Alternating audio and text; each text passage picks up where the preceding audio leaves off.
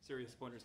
Yes, my name is Cian. I work at HubSpot. I'm a front-end engineer, and I'm going to talk about Redux, um, which is the latest thing we all need to have like two and a half years of experience in, in order to be considered good front-end engineers.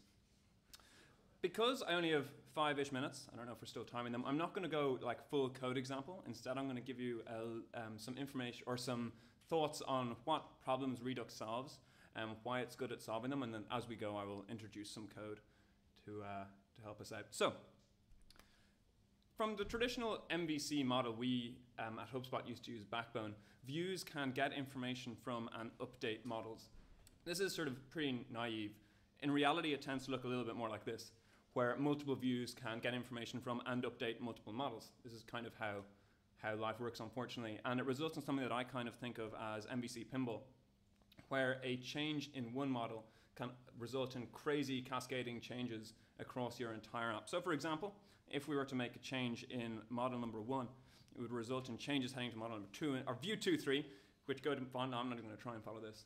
It's kind of mad. And in, in, in real life, we're not just making you know, one change, we could make several changes in very quick succession, which is not only going to result in state bouncing around your app, but also small fires in very hard places to reach. A little bit of history. If you've heard at all about Redux, you might have heard of Flux, which is sort of what inspired it. Um, Flux was developed by Facebook at the same time as they were building React. So it follows the very, it follows the same idea of a um, one-way or one-way data flow.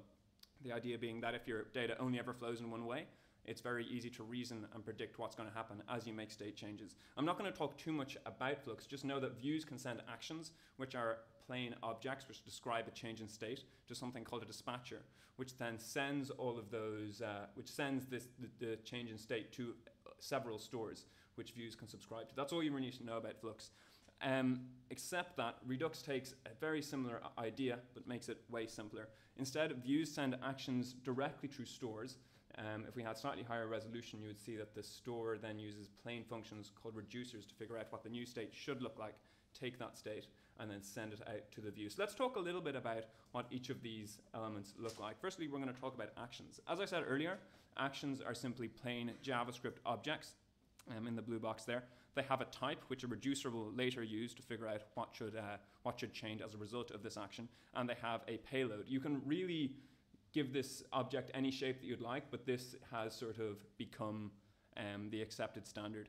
Because we tend to send a whole load of actions, um, you can create an action creator, which is just a function which returns an action given parameters. I do use some ES6 stuff here. I'll try and explain it as I go. Um, for those who don't use ES6, that completed equals false second parameter is just setting a default um, value of false if we don't pass anything in as completed. That's what an action creator looks like. Reducers tend to simply be um, uh, functions which switch through given actions. They're also given the current state. Again, I'm using I'm using default here to say our current our default state is an empty array. Um, the we switch through the action type. Once we find the correct action type, we copy the current state. It's really important that we don't mutate the state. Um, and then calculate what the new state should be and return it to the store. And um, that uh, dot dot dot state syntax that we see there is simply saying take everything currently in state and then, or currently in the state array, and then add on uh, action dot payload later. So the store finally is super simple to set up. All you really need to do is take the create store function or method from, the, from Redux and pass it your reducer. Um, Redux then figures out what your base state should look like. In our example, calling get state on my store will give us an empty array. So let's actually start throwing some actions into our store.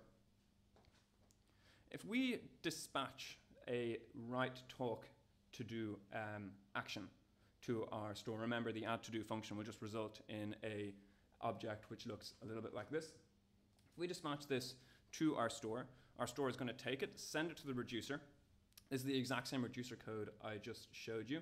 The reducer is going to look through what cases it knows about for, um, for type. Happily, I happen to implement the add to do as the, as the only one here.